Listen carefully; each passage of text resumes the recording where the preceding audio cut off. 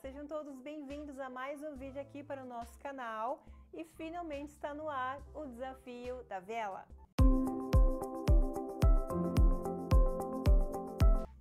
Para quem ainda não me conhece, eu sou a Alicia, sou terapeuta holística e atuo principalmente com a terapia tântrica.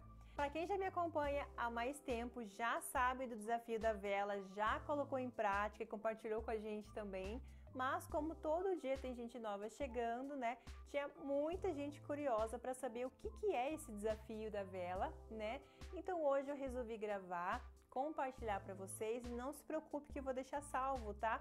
Tanto aqui no canal do YouTube quanto no IGTV lá no meu Instagram, para você poder curtir, compartilhar com os seus amigos. Como que surgiu o desafio da velha e o que, que se trata? Bom, foi uma conversa que eu tive com um colega profissional da área de sexologia, que é o Marco. Beijo para você, Marco.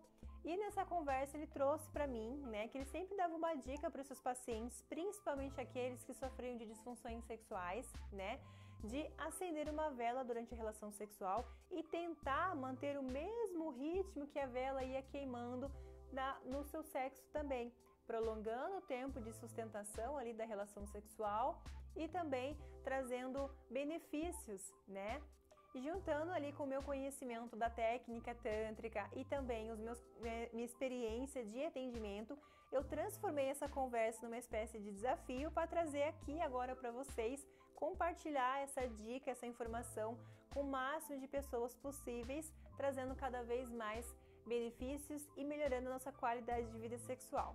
Do que, que se trata esse benefício? Você simplesmente vai acender uma vela durante a relação sexual e vai praticar o sexo no mesmo tempo que durar a vela para queimar. E calma que tudo isso já vai fazer sentido, né? Então, para fazer esse desafio, você simplesmente vai precisar de uma vela tradicional, né, de tamanho tradicional. Não inventa de comprar uma vela de 7 dias, senão esse desafio vai se tornar impossível de ser praticado, né? Inclusive ali no modo iniciante, você pode quebrar essa vela pela metade, né? Acende ou apenas uma vela para simbolizar ali esse desafio e é muito importante que o seu parceiro ou sua parceira saiba o que, que significa ali a vela e a essência do desafio da vela também, tá?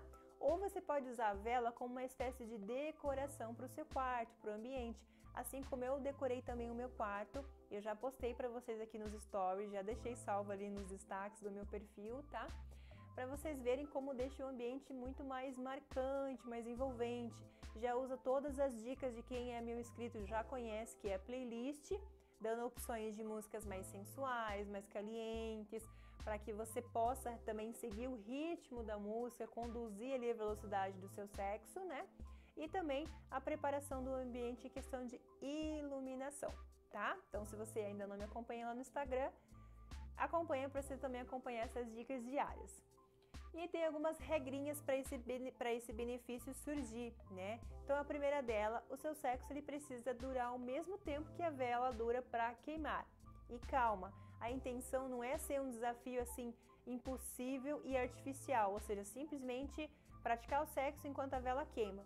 A intenção não é que o seu sexo se torne algo maçante, desgastante até mesmo dolorido, né? É totalmente pelo contrário. A gente quer que você enxergue a essência, né, a simbólica ali da vela. Ou seja, a gente quer que o seu sexo ele dure no mesmo ritmo que a, que a vela leva para queimar a chama, que é um ritmo lento, né? E também que a qualidade, a intensidade do seu sexo seja tão quente, tão ardente também quanto a chama da vela. Então, quando você entende o que, que significa né, o símbolo da vela no sexo, é justamente isso. A gente quer que você jogue fora tudo que você aprendeu sobre o que, que é praticar sexo, tudo que você aprendeu em filme pornô, tudo que você aprendeu na internet, tudo que você aprendeu conversando sobre sexo, joga fora. Através desse desafio, a gente quer te reeducar sobre o que é praticar é, o sexo e o que, que é bom para o homem e para a mulher, né? Então, a partir desse desafio, quando você diminui né, a velocidade do seu sexo, ou seja, nada de ligar o modo britadeira ou velocidade 5 do CREL, quando você diminui o ritmo da relação sexual, você vai perceber que ela dura mais tempo, né? E você começa a dar mais valor para os pequenos detalhes. Então você começa a valorizar mais o beijo na boca. Quantos casais fazem sexo hoje em dia que nem beijo mais de língua, né?